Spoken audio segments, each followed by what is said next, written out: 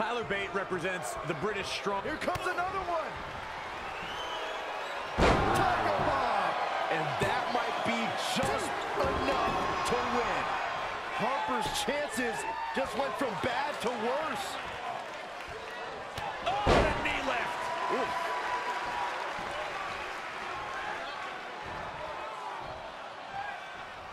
Set up for the Russian leg sweep. Nicely done.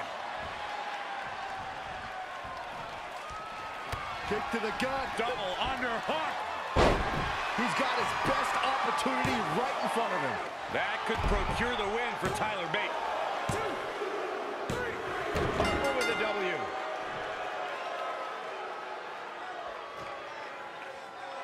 Here is your winner, Harper! And gentlemen, Harper has to be happy with this win. Without a doubt, he is among the most dominant guys.